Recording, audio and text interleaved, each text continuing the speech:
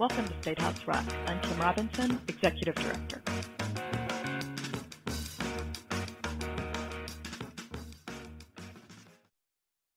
March 22nd was the deadline for passing bills out of committee in the Senate. The Senate President did extend the deadline for a number of bills that we are tracking, however. The House committee deadline is this Friday.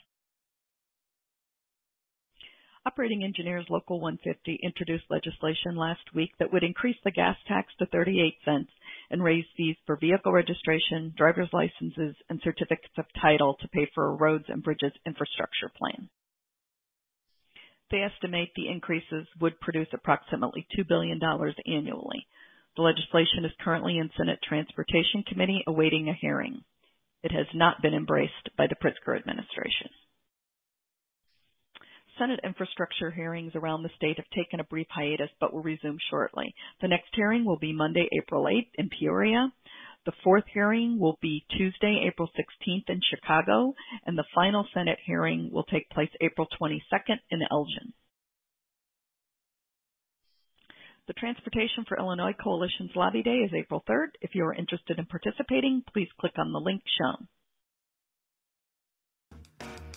That's it for this edition of State House Rock. Thanks for watching.